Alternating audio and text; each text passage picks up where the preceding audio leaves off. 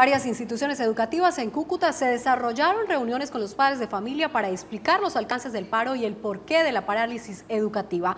Pilar Velázquez, muy buenas tardes. ¿Y qué dicen los padres de familia a este tema de que tienen sus hijos en casa todavía?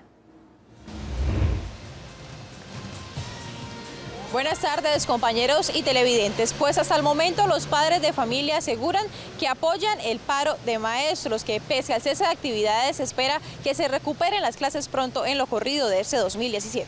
Hay muchos, eh, muchas instituciones eh, que están en precarias condiciones, la alimentación de los niños es pésima.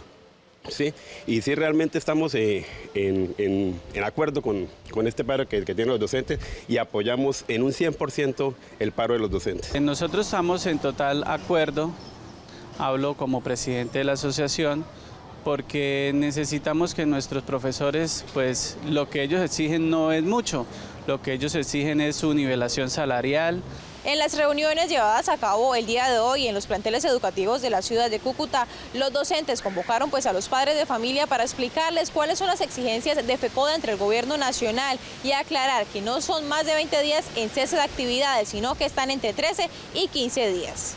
Y nos han comentado en la mañana de hoy que si los necesitamos para salir a marchar, que los convoquemos, que ellos con toda seguridad van a estar aportando su fuerza para defender también la educación, porque la educación de ellos, la de sus hijos, la de sus nietos y la de las generaciones.